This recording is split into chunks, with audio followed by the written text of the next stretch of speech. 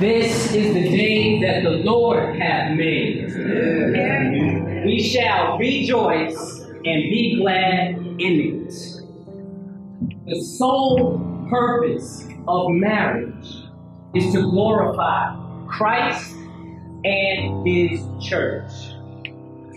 I know this because Ephesians 5:25 says, "Husbands, love your wives as Christ loved the church and gave himself for it."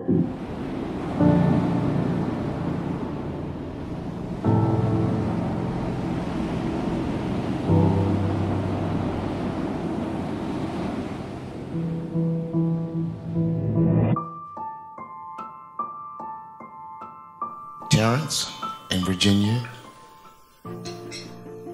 we will provide the wind under your wings.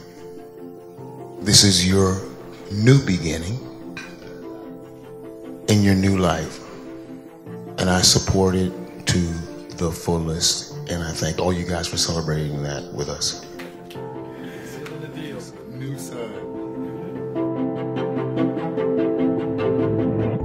They often say that, you know, they put people together um, not only because they're similar, but because they complement each other. And I truly believe that that's what has been done with this couple here. Um, you guys are amazing. I can't wait to see what God has in store for you guys. Some of us that are self aware, we pay attention to special things, special moments, and special people. And I'm just so grateful that you were paying attention today, that you set eyes on Virginia Brown.